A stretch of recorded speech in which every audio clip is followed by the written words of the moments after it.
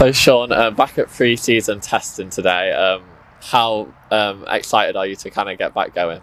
Ah, yeah, really excited. Obviously, came in and did a run today. Uh, probably the toughest day of the year out of the way, and uh, yeah, just can't wait to get going and like to the first pre-season game all the way to the start on the tenth um, against Burton. I can't wait to get going, and uh, we showed last year well, what we could do in the in the home stretch, and we're going to do that again this year, hopefully. And uh, everyone that's going to come in, or everyone that's already here, is going to try to push the hardest for for everyone in the building and everyone that works at Lincoln City.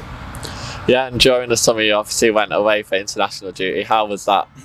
Oh yeah, obviously to represent your country um, at any level, and to represent your country on the twenty ones in the two games, uh, camp over over the summer against England and Croatia, and to set us up going into two important games and then two important games the following month after that.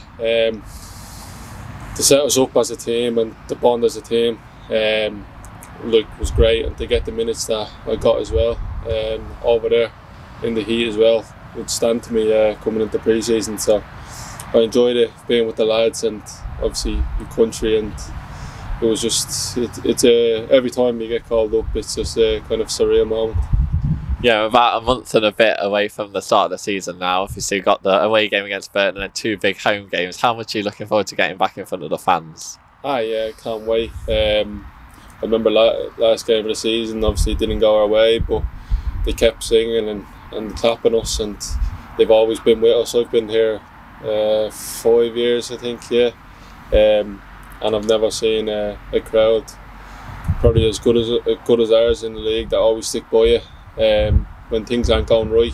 You see that start or mid season things weren't going our way and they stuck by us and all, all of us as players want to like make them happy and want them to scream loud about something that we're doing good. So we're always trying to make them happy as well, um, because they always stick by us and they're always motivating us to do well.